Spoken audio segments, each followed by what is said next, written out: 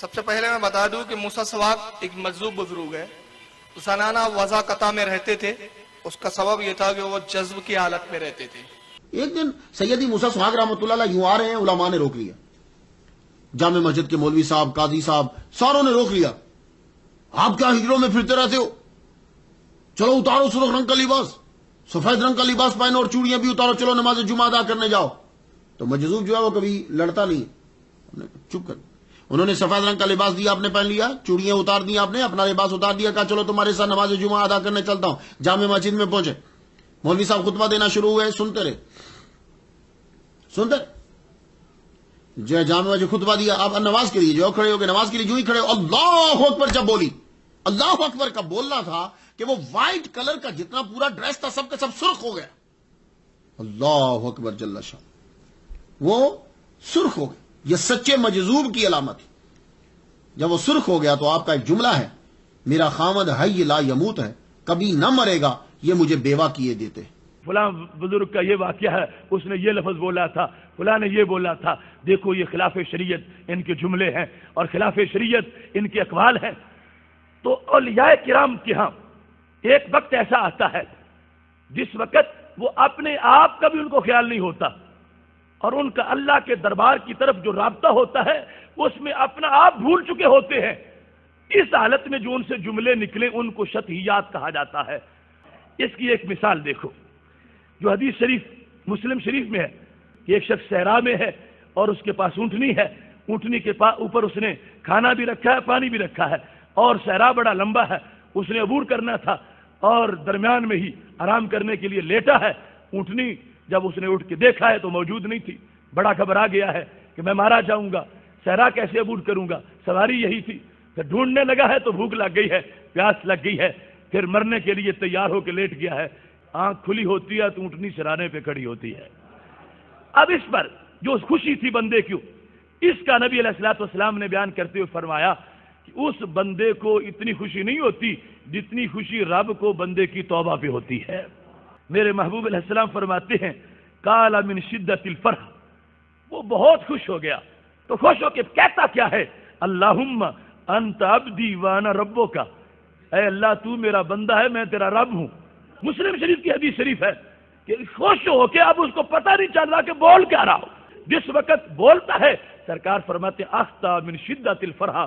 शिद्दत खुशी की बुनियाद पर, जो उस पर रब की तजल्ली पड़ी है अब अगरचे गलती कर रहा है, मगर शरीयत मुआवजा नहीं करेगी। इनको शतियात कहा जाता है। मजजूब कहते हैं जी, वो जज़ब की हालत में चला जाए, कलंदर जिसको होश नहीं रहती, और वो ऐसी होश उसकी जाती है कि वो नंगे भी फेर रहे होते हैं। ठीक हो रहे और वो कहते हैं जी, देखें जी, ये मजजूब हो चुके हैं, इनके ऊपर तो शरीयत ही कोई नहीं है ना। तो असल में वो पागल हो चुके होते हैं। तो ये मानते हैं वो। वो कहते हैं, लेकिन ये अल्लाह की मोहब्बत में पागल हुए हैं। अच्छा तो जब अल्लाह की मोहब्बत में अगर वाकई पागल हो गए, फिर इनको पागल कहा करें ना?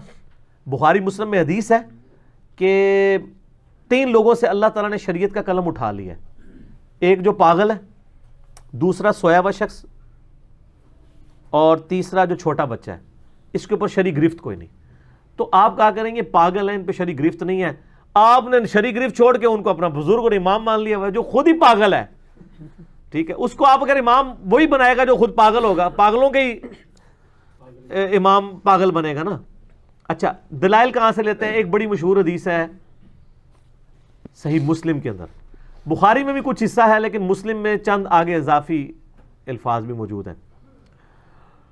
कि अल्लाह ताला ने, अल्लाह के नबी इस्लाम ने जो अल्लाह ताला की खुशी है ना, उसकी मिसाल एक बयान फरमाई है। जब कोई गुनागार शख्स तोबा करता है। ये मिशकात में भी आपको अल्लाह की रहमत वाला चैप्टर जो दूसरी जिल्द के स्टार्ट में उसमें हदीस मिल जाएगी। तो अल्लाह के नबी इस्लाम फरमाते हैं कि अल्लाह ताला को गुनागार बंदे की तोबा से इतनी खुशी होती है, जिस तरह के अगर कोई एक ऐसा शख्स हो तुम में, कि जिसका सारा साजो सामान एक ऊँट पर लदा हो और वो एक ब्याबान रेगिस्तान में सफ़र कर रहा हो और वो थोड़ी देर आराम के लिए रुके और उसकी आँख लग जाए, इस दौरान उसका जो ऊँट है, साजो सामान समेत वहाँ से भाग जाए या गायब हो जाए।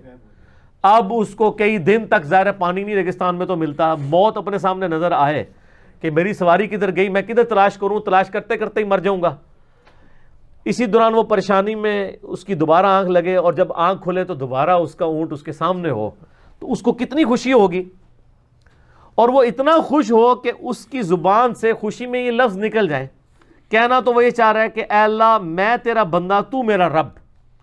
लेकिन उसकी ज़ुबान लड़खड़ा जाए और वो, उसमें अल्फाज है कि वो खुशी की शिद्दत की वजह से, स्लिप ऑफ़ टंग हो जाए और उसके मुँह से निकल जाए अल्लाह, तू मेरा बंदा, मैं तेरा रब।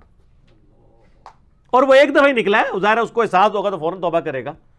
ये तो नहीं अनल हाक अनल हाक के नारे लगाता रहेगा वो। हेक क्या हेक क्या के नारे लगाता रहेगा। और वो कहते हैं ये देख लें जी, वो इससे वो कहते हैं जी मरजूब भी जो कहते हैं ना, अगर वो अल्लाह होने का दावा कर दें तो वो उनकी ज़ुबान के ऊपर ये मिस्टिसिज्म एक पैरल में एक रिलीजन है, जो मुसलमानों के यहाँ, सूफियत के नाम पे पाया जाता है, और हिंदुओं के यहाँ, साधुओं की शक्ल में पाया जाता है। और इसी तरीके से क्रिश्चियंस के यहाँ जो है और ज्यूज़ के यहाँ जो है वो राहबों की शक्ल में पाया जाता है। ये हर जगह मौजूद है। बाकी इसका ये यानी इन्हीं दीन की बिगड़ी भी शक्लें हैं। शरीयत में कोई ऐसा मसला नहीं है।